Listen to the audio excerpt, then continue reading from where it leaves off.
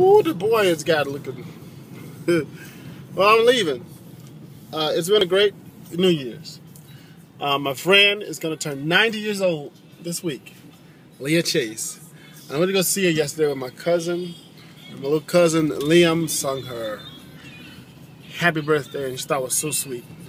I had to go and tell her how much she really meant to me and how special she is to so many people and to our people, and we just don't even know it. But she didn't want anything. She just said, Caesar, I just want you to remember me. And I think that was so sweet.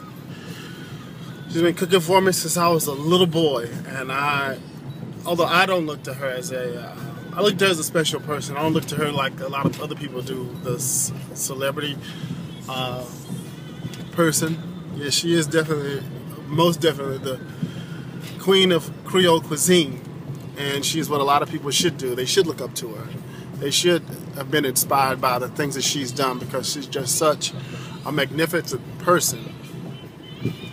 And now I'm going back to Baton Rouge after leaving New Orleans for rest and relaxation and time with my relatives, with my cousins, and the people that I love so much.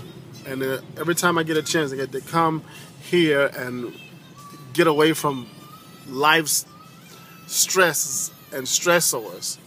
People drive me crazy sometimes. And I get to rest. Not to party, but I get to rest. I come here to party too, but just to rest. And I did. And I'm so happy I was able to be here for three days uh, and rest myself. I don't know what it is is in my nose. But it ain't no booger. But anyway, so I'll talk to y'all later.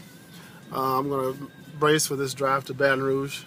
Back to um, working hard. Bye.